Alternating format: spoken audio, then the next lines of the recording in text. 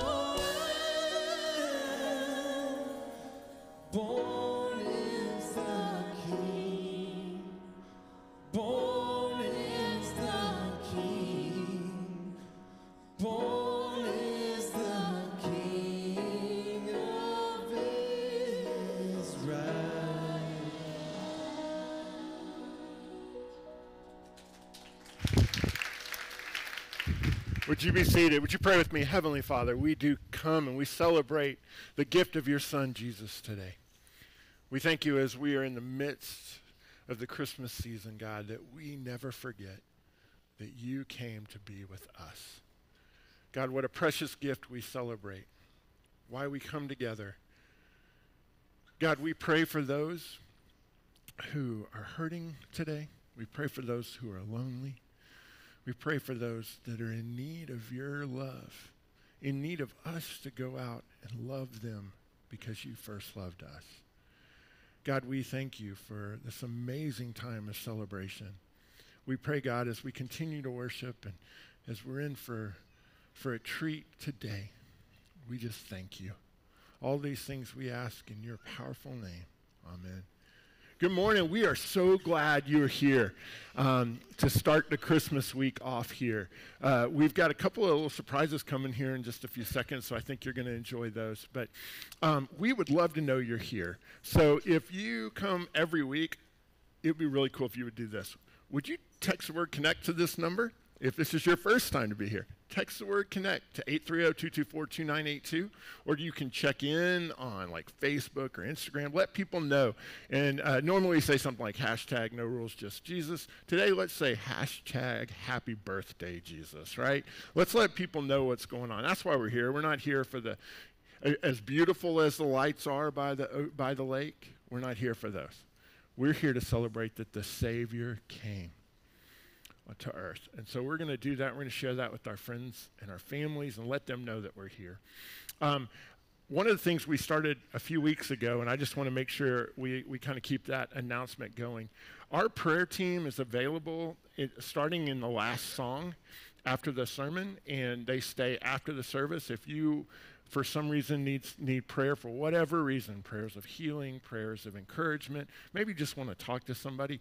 Right over here after the service you'll see them. They'll be there available to pray with and to be with. I have a special we have a special gift for you today and i just want you guys to see it. Okay i finished the dishes so we can start. Hi, guys. I just want to thank you for all your prayers and words of encouragement over the last two months. Yesterday, when I was reading about the birth of Jesus in Luke 2, I came to the part where Mary, uh, where it says that Mary treasured up all these things and pondered them in her heart. And I thought that's how I feel about what you guys have done. I treasure all these things and I ponder them in my heart. So thank you so much and Merry Christmas.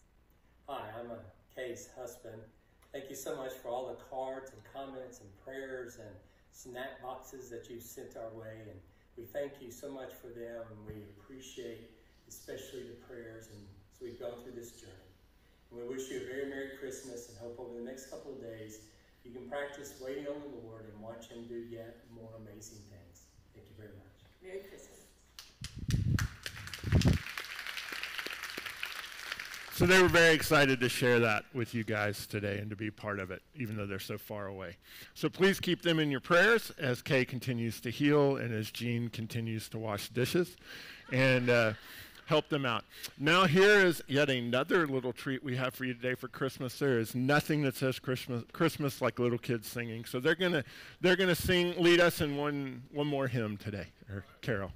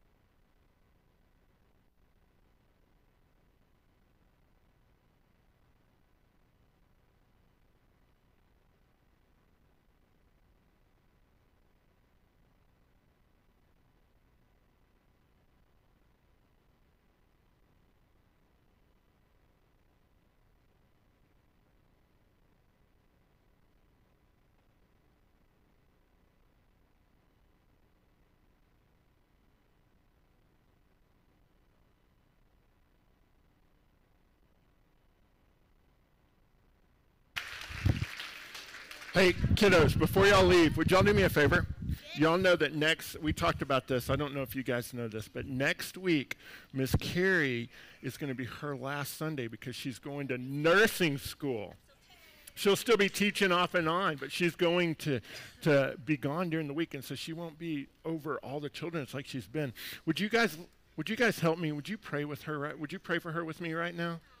Would you do that? All right. You don't have you can just pray quietly in your head if you want, but just kind of think about her and pray for her, okay? Let's pray. Heavenly Father, thank you so much for Carrie and her ministry here. We ask God that you fill her with your Holy Spirit, you protect her and you bless her as she goes to take care of lots and lots of people as a nurse. Give her strength, give her your love and your hope that she can share with her healing touch. We love you and we thank you for her. In your son's name we pray. Amen. Thank you, kiddos. That was beautiful. All right, y'all follow Miss Carrie and follow all your teachers out.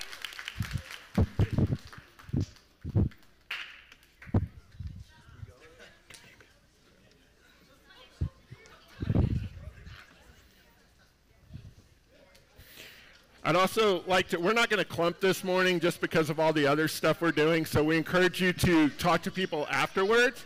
Um, but I'd like to invite any of our youth that are here, uh, sixth, seventh, eighth, all the way up to 12th grade. If you guys would like to, youth group is going on right now in the other building. All right, good morning. As the ushers come forward, would you hold on to the elements until the end? We'll all take it together. So, about a month ago, I was driving down 281 and I was struck by the city Christmas decorations that were on display. First of all, because this was like a week before Thanksgiving. And then the second thing was like every fourth or fifth one was a snowflake. And I, I, got to thinking, you know, of, of, all the Christmas songs, we've had beautiful hymns this morning, but of all the Christmas songs that are out there, I think the one that seems to have captured our fancy the most is that Irving Berlin classic from 1942, White Christmas. Just last week, Susan and I went to hear a Christmas concert that was put on by the Texas Hill Country Orchestra. The final song, White Christmas. The final line in that song is, May all of your Christmases be white. The truth is that less than 10% of Americans will have a white Christmas. Yet snow, bells, wreaths, lights, trees, and of course Santa Claus are all iconic for Christmas. They're politically correct and they effectively distract from the truth. Now, you all, we as believers, know that Jesus is the reason for this season. But if I ask you, why was Jesus born? I have no doubt that you would all be able to provide a valid answer. And you'd probably be able to have some verses to back it up. Some of you might use some familiar passages that are used at Christmas time, like Micah 5 2, Isaiah 7 14, Isaiah 9 6, that all talk about Jesus fulfilling prophecy. Maybe you would look at Luke 19:10 where it says that Jesus came to seek and save the lost. Or even Matthew 20, 28, where it talks about that he came to be a ransom for many. Just last week, Rob Harrell referenced Hebrews 2.14 and said that he came to be a flesh and blood atonement. While all those are true, I thought it'd be interesting to see what Jesus himself actually said. So in John 18 37, he's standing before Pontius Pilate, and he says, In fact, the reason I was born and came into this world was to testify to the truth. Pilate, in all his worldly wisdom, scoffed and goes, What's truth? The truth was standing directly in front of him and he couldn't recognize it. Jesus was born to testify to the truth. That's because he was here to bear witness to himself. He said in John 14, 6, I am the way, the truth, and the life. And then before he was departing, he was praying to his father for, about the disciples, and he said, sanctify them in the truth. We are sanctified in the truth, made holy, redeemed by that truth, that truth being Jesus. His word is truth. His life on this earth was a, a living testimony that God loves us, He loves all people. The truth is, we all are sinners and we all need a Redeemer. The truth is, God's grace is greater than our sin. The truth is, the Creator who spoke the universe into existence humbled himself, entered this world to be born to Mary and Joseph, or Joe, and lived his life as a, a testimony to the truth of his word that we are to be born again so we can live with him forever. Let us pray. Heavenly Father, we come to you this morning acknowledging the truth. As we take these elements, remember that Jesus was born to testify to the truth, the fact that we need a Savior. We pause to reflect on the truth that Jesus, being born in a manger, would allow us to spend all eternity with you when he paid the ransom for our sin on the cross. Amen.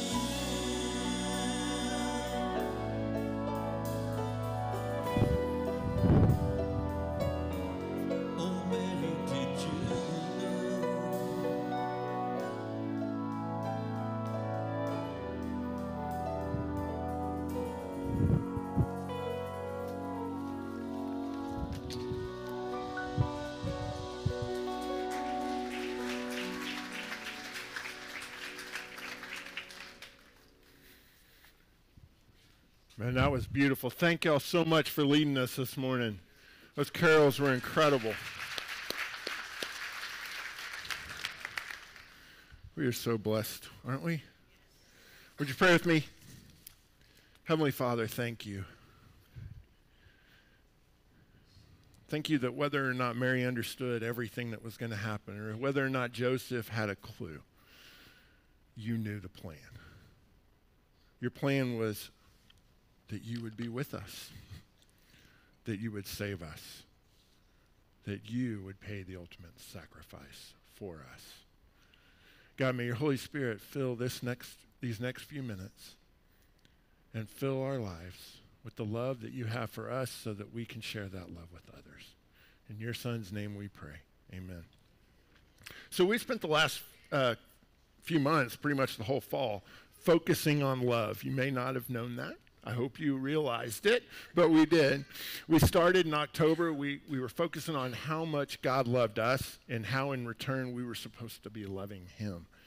And then in November, we, we talked a lot about loving each other as brothers and sisters in Christ. And in December, Damaris and Rob and, and now I talked about how because God loved us, because we love each other, we're supposed to go out and love the world.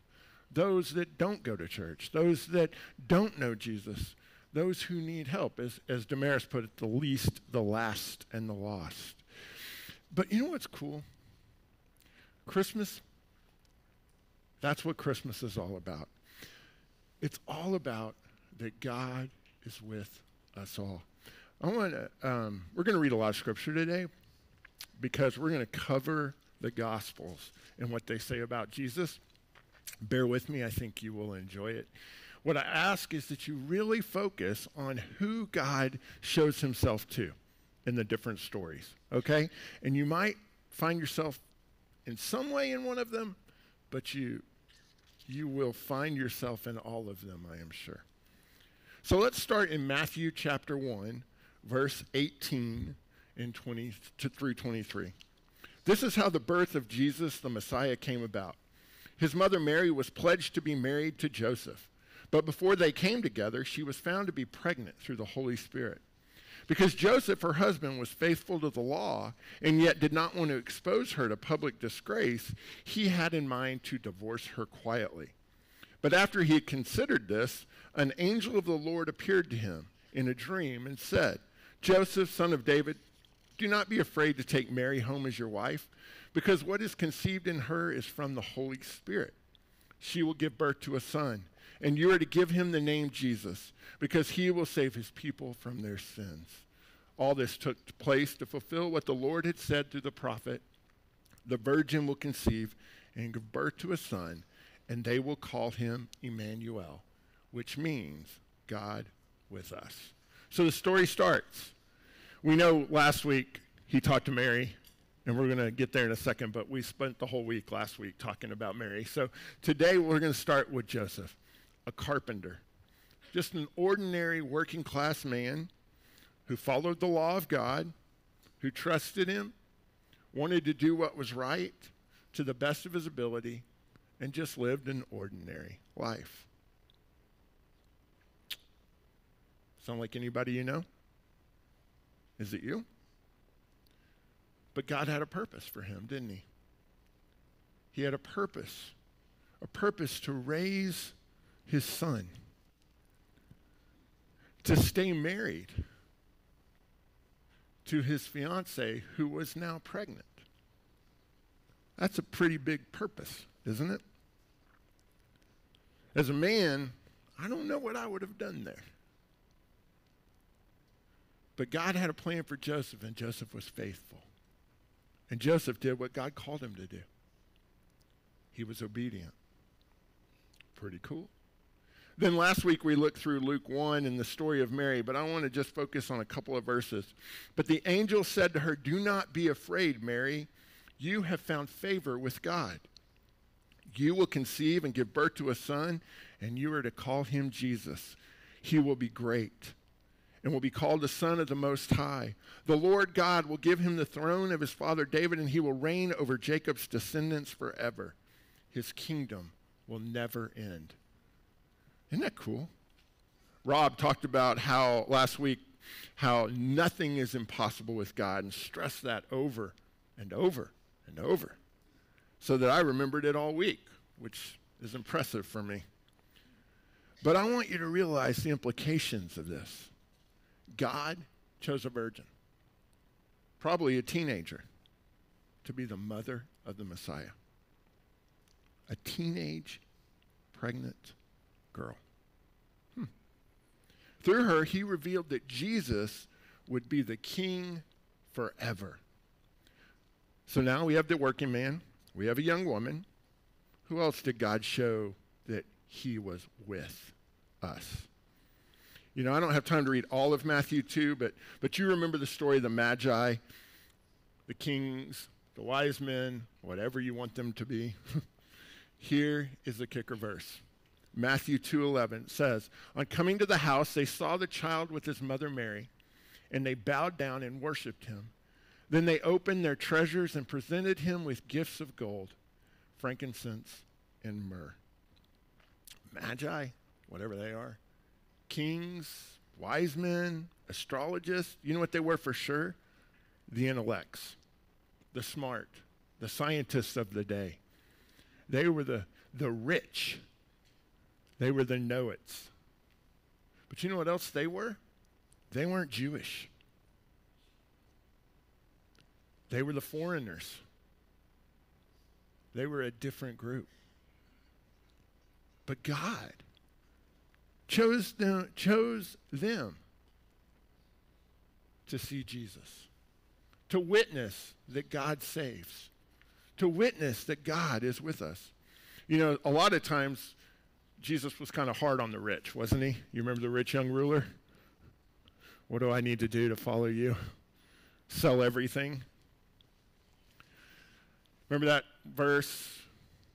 It's easier for a camel to get through the eye of a needle than for a rich man to follow Christ.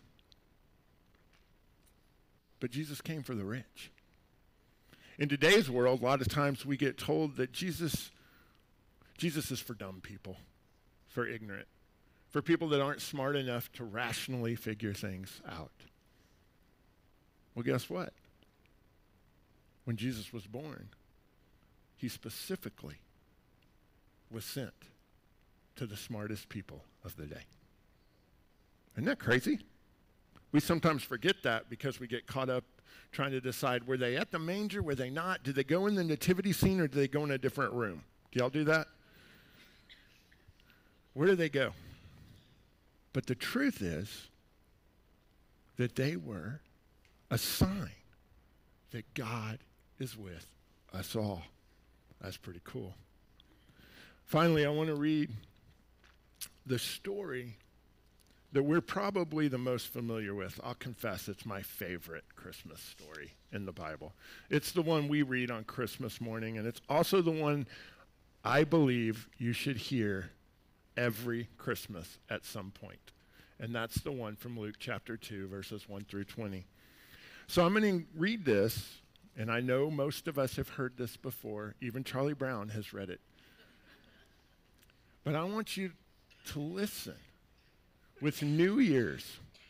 Listen to who God appears to. Listen to what the angels say. Listen to the message of Luke chapter 2. In those days, Caesar Augustus issued a decree that a census should be taken of the entire Roman world. This was the first census that took place while Quirinius was governor of Syria, and everyone went to their own town to register. So Joseph also went up from the town of Nazareth in Galilee to Judea, to Bethlehem, the town of David, because he belonged to the house and the line of David. He went there to register with Mary, who was pledged to be married to him and who was expecting a child. While they were there, the time came for the baby to be born, and she gave birth to her firstborn, a son. She wrapped him in cloths and placed him in a manger because there was no guest room available for them. And there were shepherds living out in the fields nearby, keeping watch over their flocks at night. And an angel of the Lord appeared to them, and the glory of the Lord shone around them, and they were terrified. An angel of the Lord appeared to them, and the, oh, sorry. But the angel said to them, Do not be afraid. I bring you good news that will cause great joy for all the people. Today in the town of David, a Savior has been born to you. He is the Messiah, the Lord. This will be a sign to you. You will find a baby wrapped in clothes and lying in a manger.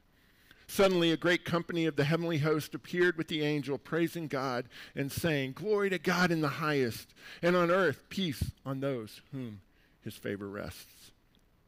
When the angels had left them and gone into heaven, the shepherds said to one another, Let's go to Bethlehem and see this thing that has happened, which the Lord has told us about.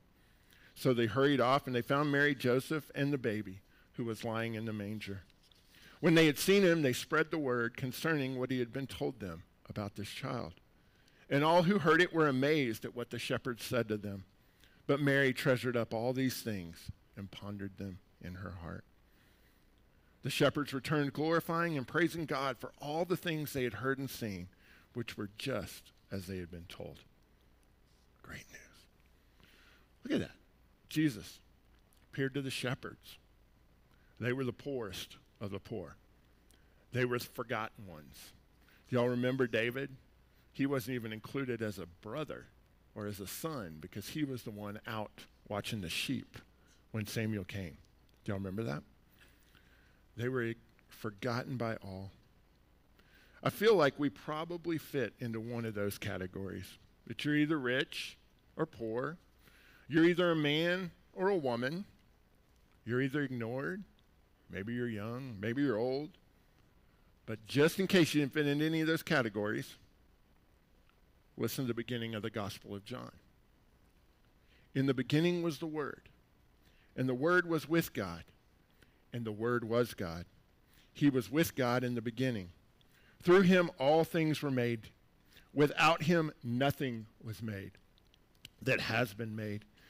In him was life, and that life was the light of all mankind. The light shines in the darkness, and the darkness has not overcome it. Well, I don't know a lot, but I know all means all. So God came to be with us all. That's what Emmanuel is.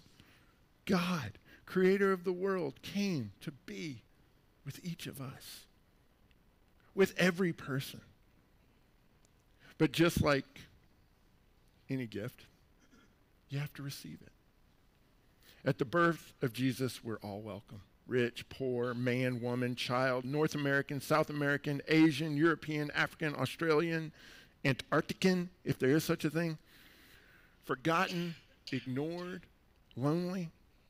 Jesus, which means God saves, came for each of us to show that God is with us, Emmanuel. But just like any gift, we can choose to receive it or we can choose to ignore it. We can choose to ignore that God is with us.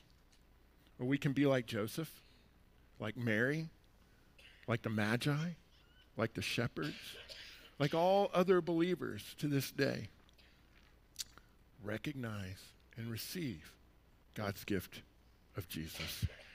If you have not received that gift, I truly pray you do it right now. If you'd like to have someone pray with you or talk to you, then that prayer team, like I talked about earlier, will be located right over here during the next song, and they'll be there as long as you need them to be after the service. Because Jesus came so that we could all be restored. Restored to the right relationship that God had planned for us from the beginning of time, in the beginning. So we can truly be with Him loved by Him, love Him, and love others, so that we could experience Emmanuel, God with us. Do you understand what that means? God is with us. God's not off in some distant room watching us like we're on TV, getting a good laugh, getting angry, getting sad. No, God is with us. He didn't create everything and then step away to see how bad we could mess it up. He is with us. When we're hurting, when we feel alone, we aren't alone because God is with us. When we're grieving, when we're sick, when we receive bad news, life altering problems, life shattering events, you're not alone.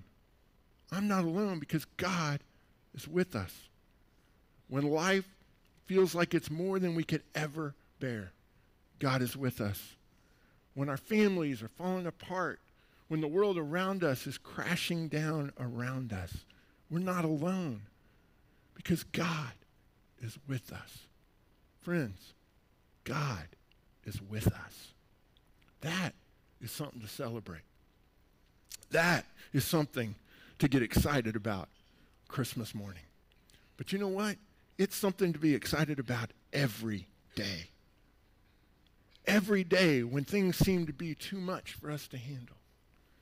Every day when we don't know how we're going to get out of bed.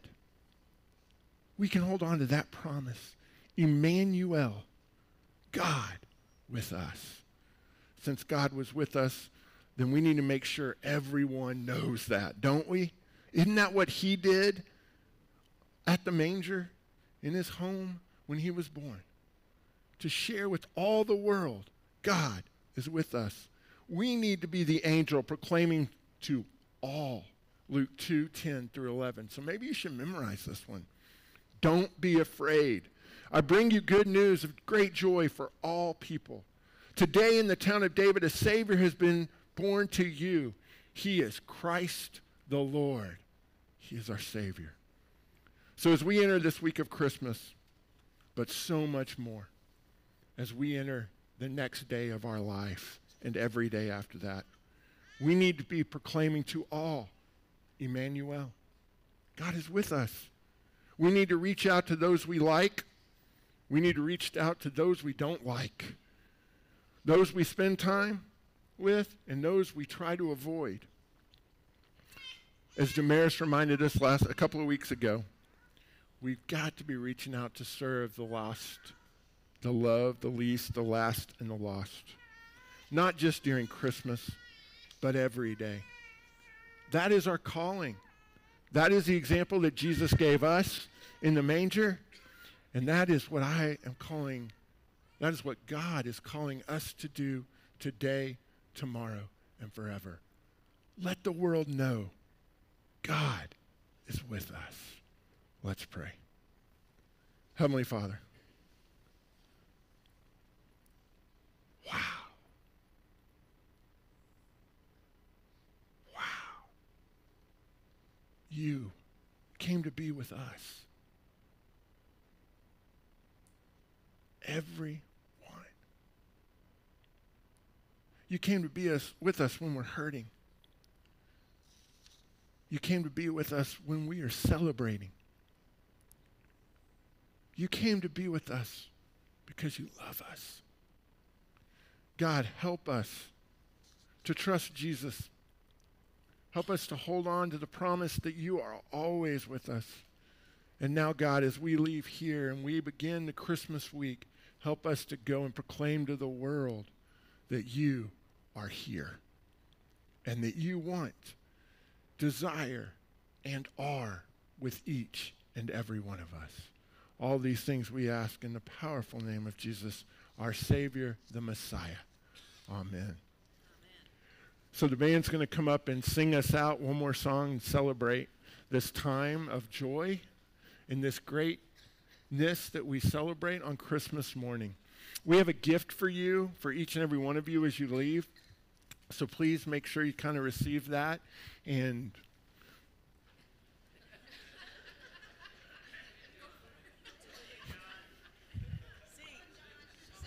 And my gift to you for Christmas is that I will never sing on a microphone. I told him it was short. But you know what? Y'all think about that. Who is it? Who is it that's in your life that needs to know that God is with us? Who is it that you've looked past, that you've ignored? It needs to know God is with us. Who is it that you love with all your heart, but they don't realize that God is with us. Let's proclaim Emmanuel, God with us.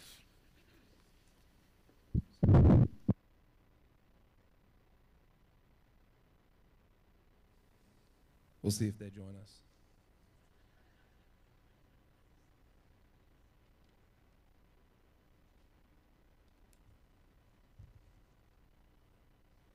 Y'all might as well stand up. We're going to do Joy to the World. We're going to leave on a very, very fun song here. They add a little bridge in this that's really, really fun. So just follow along on the sides here and have a wonderful week. Enjoy some family time and some friends.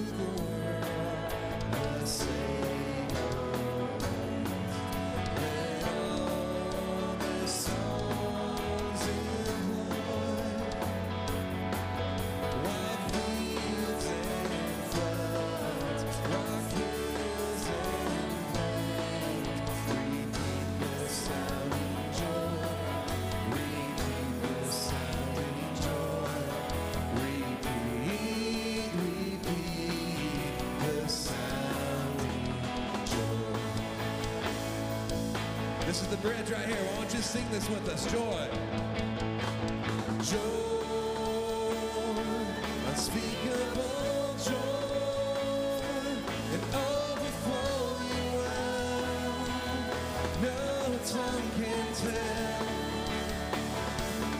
Joy, unspeakable joy, rises in my soul,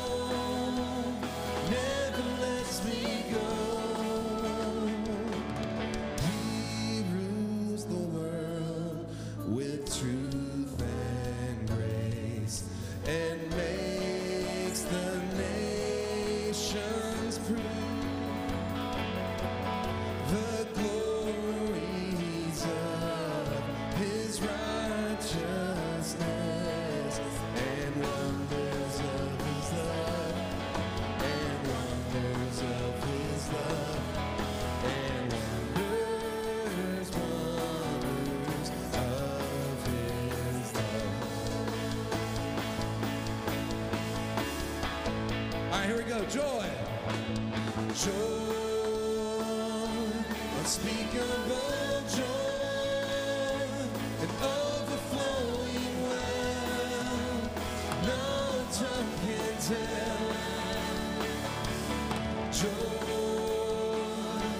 unspeakable joy,